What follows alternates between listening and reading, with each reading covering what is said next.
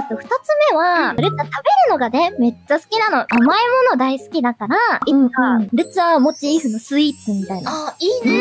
あそういうのをみんなに食べたいね。なって思うの。んん食べたい。カスタードとかクリーム系かなって思うんだけど、うんああ、いいね。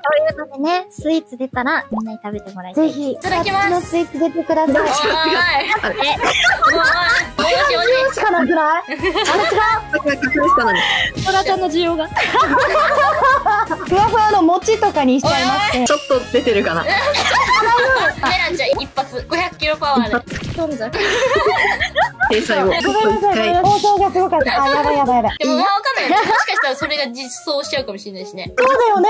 本当に需要しかない。そしたらトラちゃん食べてもらわない一番に。